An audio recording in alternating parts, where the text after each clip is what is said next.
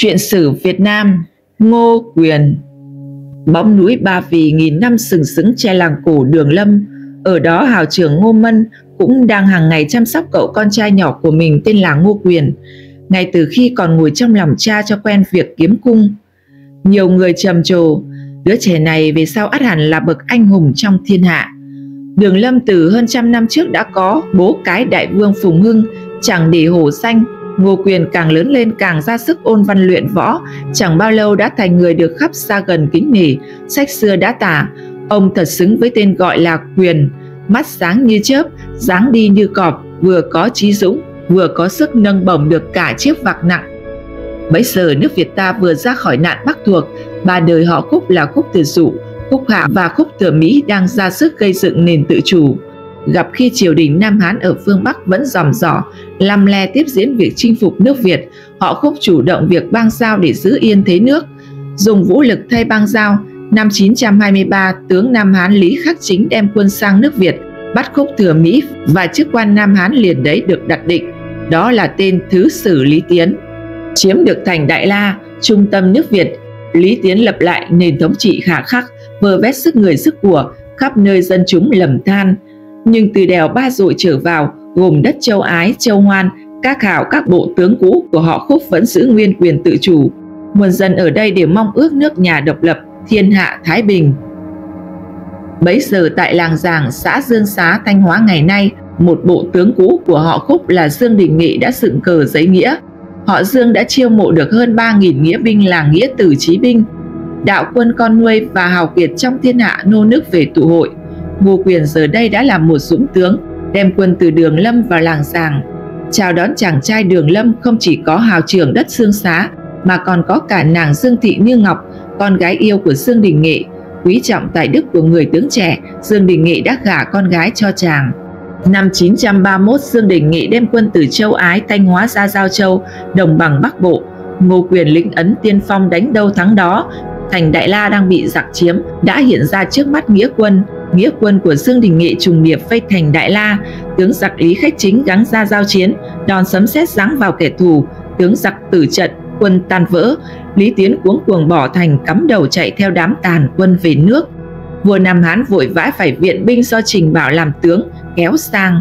Chưa đến nơi thì thành Đại La đã mất, chúng đang hoang mang chưa biết tiến toái ra sao thì đã bị Dương Đình Nghệ và Ngô Quyền lập mưu đánh cho tan tành. Trận Đại La Thành năm ấy kết thúc anh liệt, quân ta đại thắng, nước ta giành được quyền tự chủ. Dương Đình Nghệ tự xưng là tiết độ sứ đóng giữ Đại La Thành và cử Ngô Quyền làm thứ sử châu Ái. Ngô Quyền dẫn quân về châu Ái, khoan hòa nhân ái, chăm lo canh tác, rèn quân tích lương, khiến châu Ái trở nên hùng mạnh. Chưa được bao lâu thì tin dữ đã từ Đại La bay về châu Ái. Tên phản bội ở dưới trướng tiết độ sứ Dương Đình Nghệ là Kiều Công Tiễn đã lập mưu ám hại chủ tướng họ Dương để cướp quyền, bấy giờ là năm 937. Sau khi ám hại Sương Đình Nghị, tên phản bội Kiều Công Tiễn lập tức vấp phải lòng dân oán thán, binh sĩ căm ghét. Nhưng hắn lo nhất là Ngô Quyền từ châu Ái sẽ đem quân ra hỏi tội. Lo sợ bị trừng phạt, Kiều Công Tiễn đã trở thành kẻ phản nước hại dân, cho người đi cầu cứu quân Nam Hán. Lời kêu của kẻ phản tần khiến vua Nam Hán là Lưu Cung cả mừng trong dạ, thật là dịp may hiếm có. Vua Nam Hán lập tức cho bàn việc tiến quân, nhưng triều đình Nam Hán lại có người tỏ ra lo lắng, Tước Sùng Văn Hầu là tiên ích tâu bày, nay mưa dầm đã mấy tuần, đường biển xa xôi và hiểm trở, Ngô Quyền là người kiệt hiệt, chớ nên coi thường. Vua Nam Hán nghe lời bàn, cả giận mà cho rằng đó là những lời sàm tấu, làm nhụt chí tiến quân, gạt những lời can gián sang một bên, quyết ý ra binh xâm chiếm nước Việt. Lưu cùng tự mình đề ra kế hoạch tiến quân, gọi con trai là Lưu Hoàng Tháo vào cung. Nam Hán Vương phong cho Hoàng Tháo làm giao vương, hàm ý cử con trai đi làm vua ở Giao Châu nước Việt một đạo thủy quân hùng hậu được giao cho Giao Vương đem đi viễn trinh, còn Nam Hán Vương thân dẫn quân đội đến Hải Môn, Quảng Tây Trung Quốc. Trước nguy cơ đất nước thủ trong giặc ngoài phối hợp đánh cướp, Ngô Quyền lập tức huy động toàn thể quân dân khắp miền, lập đàn thể, tế cáo trời đất, nguyện diệt trừ lũ cướp nước và bán nước. Mùa đông năm 938, Ngô Quyền thống lĩnh đại binh vượt đèo Ba Dội tiến công đánh chiếm thành Đại La, trước tiên dẹp bọn phản bội nội ứng cho giặc ngoài vào. Kiều Công Tiễn không ngờ quân của Ngô Quyền lại thần tốc quyết đánh như vậy. Hắn hoảng hốt xua quân gắng gượng chống đỡ, nhưng vì kẻ chủ mưu bất nghĩa nên sinh ra lòng quân dã rời. Chẳng mấy chốc mà thành Đại La đã bị Ngô Quyền đánh hạ, Kiều Công Tiễn bị bắt sống. Ngô Quyền sai điệu tên phản bội lên mặt thành chém đầu, mối họa từ bên trong vậy là đã được diệt trừ kịp thời. Liền đó, Ngô Quyền vào cuộc họp bàn cùng các tướng, sách Đại Việt Sử Ký Toàn Thư đã ghi lại được những lời phản quyết đầy hào khí của Ngô Quyền lúc ấy. Hoàng Tháo là đứa trẻ dại, đem quân từ xa đến, quân lính mệt mỏi, lại nghe kiểu công tiến bị giết, không có người làm nội ứng, tận đã mất vía trước rồi, quân ta sức còn mạnh, địch với quân mệt mỏi, nhất định phá được. Sau khi xem xét địa thế sông Bạch Đằng, cửa ngõ của đất nước trước Biển Đông, Ngô Quyền chọn vùng cửa sông Cấm Hải Phòng làm đại bản doanh, tòa thành Lương Sâm được cấp tốc xây dựng trên đất An Hải. Một chiều sớm đông, Ngô Quyền tới vùng cửa sông Bạch Đằng, lớp lớp sóng chiều từ khơi xa cuộn cuộn xô bờ, ào ả rút nước ra xa tít, ý lạ trượt hiện, Ngô Quyền vỗ kiếm bật nói như xeo. Đây sẽ là nơi chôn vùi giấc mộng bá vương nước Việt của cha con họ Lưu, nhà Nam Hán. Hôm sau, những toán quân được lệnh lặng lẽ vào trong các dải rừng ven sông Bạch Đằng, chặt hạ cây, biến thành những chiếc cọc nhọn hoắt. Thợ rèn đỏ lửa tạo thêm những mũi sắt chụp thêm lên đầu những cây cọc nhọn. Hàng nghìn chiếc cọc bọc sắt được khẩn trương đóng xuống lòng sông. Những mũi sắt nhọn dựng ngược tua tủa giữa dòng Bạch Đằng. Khi tùy chiều xuống sẵn sàng đâm nát mọi vật, nhưng khi tùy chiều lên, tất cả đều im lặng mai phục dưới mặt sông mênh mông. Trong thành Lương Sâm, các tướng lĩnh dưới quyền chủ soái họ Ngô đang vào cuộc họp bàn. Dương Tam Kha, em trai nàng Dương Thị Như Ngọc, được cho quyền chỉ huy cánh quân mai phục bên bờ trái dòng Bạch Đằng.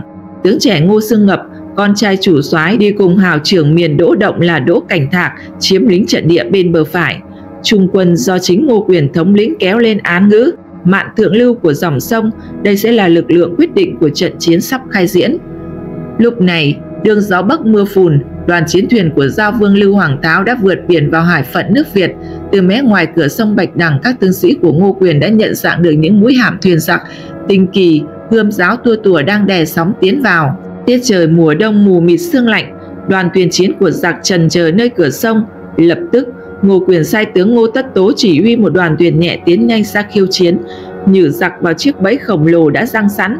Thái tử triều Nam Hán giao vương Lưu Hoàng Tháo đúng như nhận định của Ngô Quyền là một viên tướng trẻ sốc nổi hám công nhận ra lực lượng của tướng Ngô Tất Tố rất mỏng hắn hăm hở hạ lệnh tấn công tiêu diệt đoàn thuyền khiêu chiến của tướng Ngô Tất Tố đã khéo léo vừa đánh vừa lui dần vào trong nước triều đang lên cao Hoàng Tháo nhân đà chiều lên dẫn đầu cả đoàn chiến thuyền Nam Hán đè sóng đuổi theo tiến sâu vào trong vùng cửa sông Bạch Đằng Hoàng Tháo trột dạ khi nghe tiền quân báo về từ trên đầu nguồn đang có rất nhiều bè lửa trôi nhanh xuống.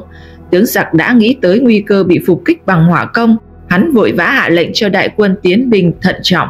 Nhưng quá muộn, hàng trăm chiếc bè chất đầy củi khô tầm dầu bốc cháy rừng rực theo chiều nước chảy xuôi lao tới vun vút. Những chiếc chiến thuyền Nam Hán đi đầu, tránh không kịp đã bắt lửa. Lũ giặc hò nhau cuống cuồng dập lửa, thế trận bỗng chốc trở nên hỗn loạn. Nhưng điều đáng sợ hơn với chúng là đội chiến thuyền đang bỏ chạy của tướng Ngô Tất Tố bỗng quay lại đánh quật về dữ dội. Theo vào chính trận, cả lực lượng hùng hậu của chủ soái Ngô Quyền, những chiến thuyền của ta chia đội thuyền cồng cành của giặc ra mà đánh. Những đạo quân mai phục từ đôi bờ Bạch Đằng Giang đúng lúc này cũng đội sóng nước vượt cỏ cây xung trận. Ngàn vạn mũi tên độc xé gió lao vào quân thủ, lũ giặc xâm lược chúng tên lộn cổ xuống nước nhiều vô kể. Trên soái thuyền chỉ huy, Ngô Quyền với thanh gươm tuất trần đang xem xét toàn bộ cục diện trận đánh. Ông biết mình đã làm chủ hoàn toàn trận thủy chiến oanh liệt này. Nhìn dòng nước thủy triều bắt đầu rút mạnh ra khơi, trên bãi lầy ven sông nổi lên những ngọn cọc tiêu báo hiệu. Ngô Quyền ước tính đã đến lúc lùa giặc vào chiếc bẫy khổng lồ phục kín dưới mặt nước được rồi. Ngô Quyền vung tay phất cờ lệnh, chiếc chống trận ở thuyền chỉ huy từ bấy giờ vẫn im tiếng, lúc này mới được lệnh gầm lên những tiếng sấm ngũ liên dồn dập. Âm thanh chiến trường huyên náo rền vang khắp miền sông nước Bạch Đằng. Các chiến thuyền của quân ta tới tấp sông ra giữa muôn vàn tiếng xeo hò xung trận mãnh liệt. Tất cả quây kín lấy đoàn hạm thuyền Nam Hán, nhằm thẳng vào chiếc xoái thuyền cắm cờ giao vương, tấn công dữ dội. Đối mặt lũ xâm lược là chủ tướng Ngô Quyền và tướng Ngô Tất Tố cùng các quân sĩ dưới cờ. Hai bên là các tướng Dương Tam Kha, Ngô Sương Ngập, Đỗ Cảnh Thạc và ngàn vạn quân dân nước Việt. Chưa từng bao giờ dòng Bạch Đằng Giang được chứng kiến một cảnh tượng đánh phá quân xâm lược hùng tráng đến như vậy. Giao vương Hoàng Tháo hoàng sợ phát lệnh lui quân, dòng thủy triều đang xuống, thuyền giặc tranh nhau tháo chạy ra biển. Nhưng vừa tới cửa sông thì như có phép trời cả một rừng cọc đã vụt nhô lên từ dưới nước. Lớp lớp thuyền bè đồ sộ của vương triều Nam Hán bị đâm thủng, va vào nhau vỡ hàng loạt giặc lại gặp cảnh ba bề bốn bên tiến đánh dữ dội, không tên nào chạy thoát, sông Bạch Đằng đỏ ngầu máu giặc. Lưu Hoàng Tháo còn đang hoảng loạn chưa biết điều binh khiển tướng ra sao thì bị trúng tên. Khi thanh kiếm lệnh trên tay kẻ ôm mộc làm sao vương rơi xuống, cũng là lúc những chiến binh nước Việt nhảy sang thuyền giặc kết liễu đời hắn. Đại vũ công sông Bạch Đằng diễn ra quá nhanh, vua Nam Hán đang đóng quân sát biên giới mà cũng không kịp ứng cứu cho con trai. Hỡi ôi, khóc than mà dẫn tàn binh quay về. Triều đình Nam Hán đành từ đây vĩnh viễn rời bỏ dã tâm xâm lăng nước Việt.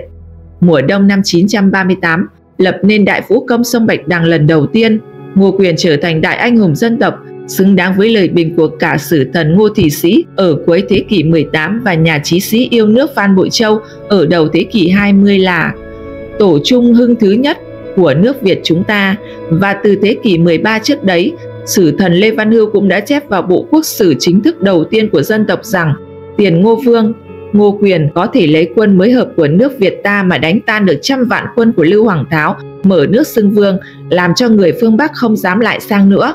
Có thể nói một lần nổi giận mà yên được dân, ngu giỏi mà đánh cũng giỏi vậy.